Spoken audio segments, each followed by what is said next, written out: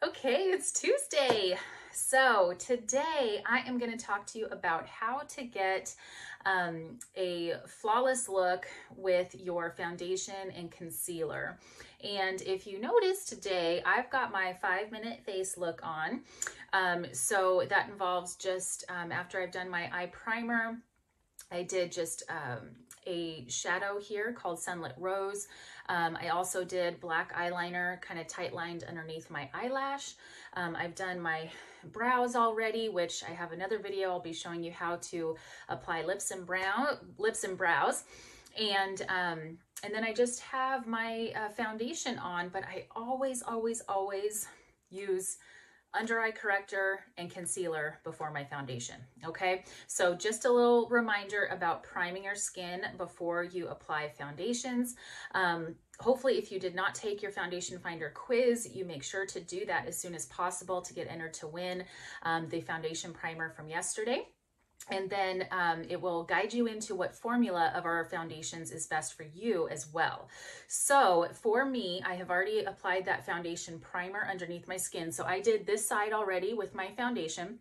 This side has none. This has just got my foundation primer on it. So I'm going to show you how I complete the look over here um, on this side. So to get this to look like that, wait, to get this to look like that. and then we have a couple things we need to do. So first and foremost, um, we need to use the amazing under eye corrector. Okay, if you know me, you know that I love myself some under eye corrector. So the under eye corrector is something that has a peach tone to it. So it's not intended to match your skin, okay? It's intended to counteract the bluish um, kind of purple color undertone that you might have on your skin. So it will neutralize that color, okay? So when I apply my under eye corrector, I'm literally going under my eyes. But that's where, you know, you kind of look, if you look a little tired, that's where it's going to kind of show a little bit, right? So that's where I put my under eye corrector. And then I'm using a foundation um, brush to um, just kind of dab it in, okay? So that's what I'm doing there. And that just kind of gets, oh, gets the shadowy look out from underneath your eye area. Okay, so amazing. Look at that, just in that one little swoop that's how that works. Love that product. Love it. My absolute favorite. Desert Island. What I would take with me is an under eye corrector. Um, okay, so that's the under eye corrector. Now, next up, I'm going to be applying foundation. So foundation is uh, particular, right, to each of our skin types and also to our preference as well. So some of you may prefer powders. Some of you may prefer a liquid. Um, I personally prefer a liquid. Um, if I'm looking for very sheer coverage and an easy kind of um, uh, uh, two in one. We have our tinted moisturizer. It's called a CC cream. So it's more than just a tinted moisturizer. It's a complexion corrector. So it also helps to even out the skin tone. It does have some sunscreen in it as well, but it's kind of like your hydration and your skin color um, uh, foundation in one. So that's something I highly recommend. Uh, very, very popular um, tinted sunscreen. It's called CC cream. Okay. Then we also have our other liquid foundations that provide a little bit more coverage. We have our matte wear and also a luminous wear. Um, sometimes I'll mix the two just to get a semi-matte. Um, but that's probably more on a going out kind of look. Um, nine times out of 10, I'm using the matte wear foundation and it's in our 3D formula. So it comes in a tube like this. And that means it's got a little bit of skincare benefits to it as well which is fabulous. And um, I always apply it with a uh, foundation brush as well.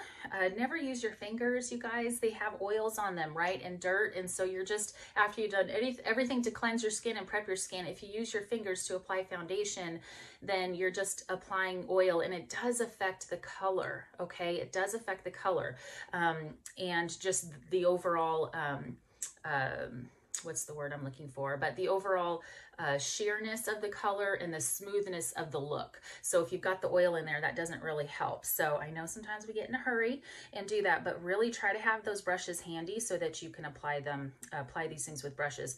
Now, the other key too, or little tip I should say, is to apply the foundation to the back of your hand first, you'll use a lot less product and you'll also use less product when you use a foundation brush as well. If you use your fingertips, you're also gonna use more foundation than necessary.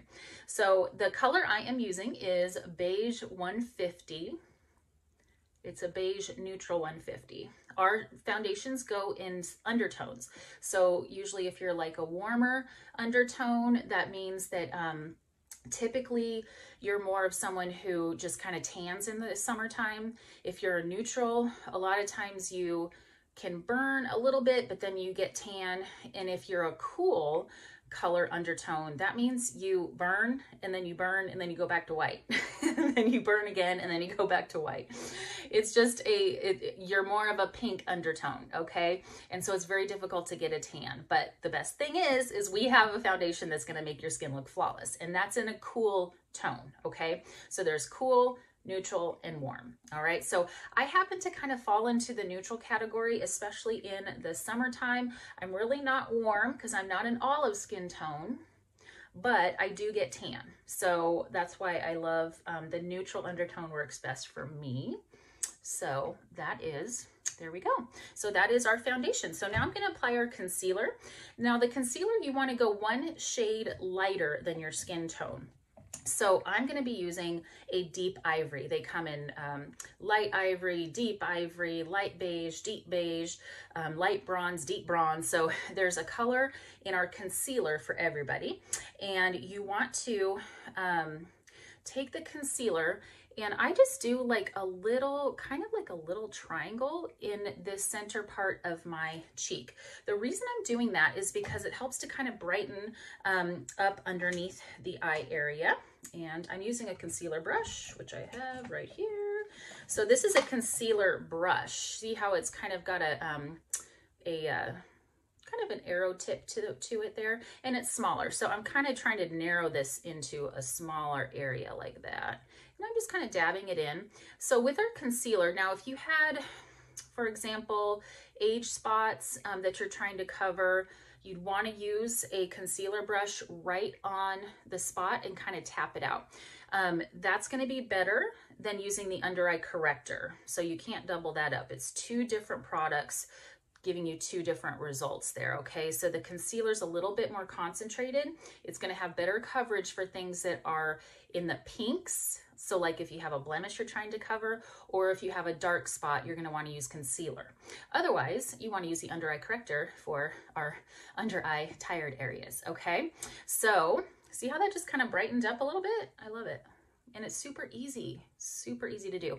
Okay, and then last but not least, right? We have to put a little kiss of color on our cheeks. So the color I'm using is Shy Blush. I'm using our cheek color brush and I actually don't have cheek color on this side yet either. So I'm gonna go ahead and just apply it here on this side and I just kind of do a little bit of tapping like that and just kind of blend it in a little bit. I love this color because it's a great neutral. It does have a little bit of a metallic sheen on the gold side. So it does give you a little bit of a gold metallic. There we go. All right, doesn't that make a difference? Just like that, little, little cheeks. All right, there we go. And now we're ready, ready for the day. Um, oh, there's one more thing. Now, I will be honest and tell you, I don't always do this setting powder, but when I'm do, I'm glad I did. Um, but this is our setting powder. So this would be like the final touch to your, um, to your face. And uh, in the foundation scheme of things, the um, uh, kind of setting the look for the day. And it's a setting powder that comes in a container like this.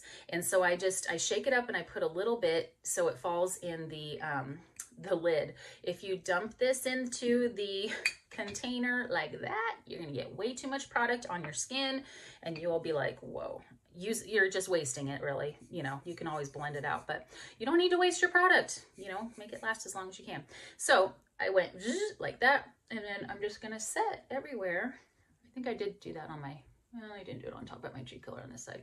I think I did do a little powder on that side. But there we go. And now we have set our makeup we are good for the day and uh, ready to go. So I hope this was helpful to you.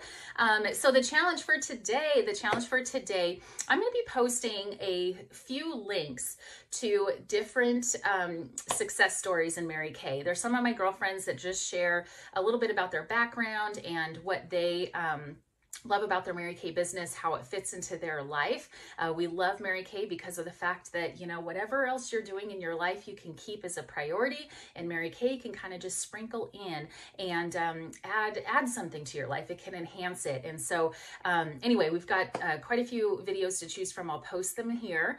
And uh, all you have to do is just watch the video and then um, what you'll do is uh, there'll be a little link to just fill out a quick survey. Once you do that, then you'll be entered into the drawing um, for the product of the day, which is actually going to be um, one of our foundations. So whatever foundation of your choice is, then you will be entered to win that as a free gift for today. When you watch the video, give your quick survey feedback, um, you'll be entered to win. So cannot wait to uh, show you what I've got in store for you tomorrow. So make sure to come back in, tune in. Remember to like the video, comment, say something that you learned from what I shared with you today, and then share this video with a girlfriend so um, we can spread the word. All right. So have a fabulous day, and I will see you tomorrow. Bye.